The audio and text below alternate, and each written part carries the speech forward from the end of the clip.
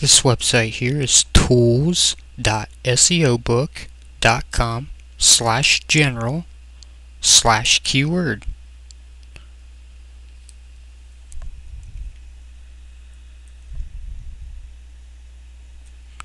Using this tool, you'll be able to see how many people are searching for a particular keyword or keyword phrase.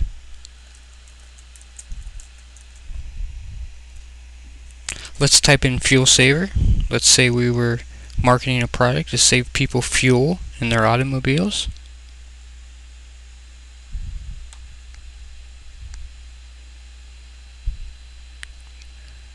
Large listing. Uh, Fuel Saver has 5,688 in a monthly search volume. That's how many people are looking for those, using those keywords. Now we'll go to Google, see how much competition there is for Fuel Saver. You see it's it's pretty stiff. 381,000 people have items tagged to Fuel Saver. Move down a little bit. Uh, car Fuel Saver.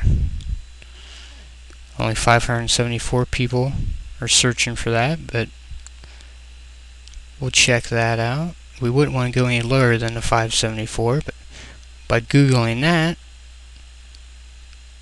you'll see there's only 972 items tagged to car fuel saver. If you had this device or a product, this would definitely be one worth going for.